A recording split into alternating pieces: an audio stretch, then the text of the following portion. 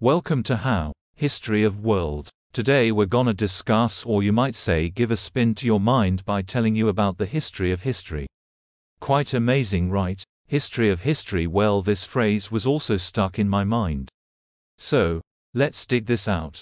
History as mentioned, is the study of past of people, societies, events and problems of past. Now you know what is the term history. So, let's dive into it. History interesting. It came in origin from a Greek ancient word, historia. Historia means inquiry or knowledge obtained by investigating. 484 BC to 425 BC, Herodotus, an ancient Greek writer was the first one to write a book called The Histories. He was the earliest extant historic narrator and this book was written in second half of 5th century BCE, now the question raised must be when did the history or historic study started? So, many people believe the history was started by Greeks as they were the first one to write about it. But the history began when the tradition of recording or writing about a significant event started.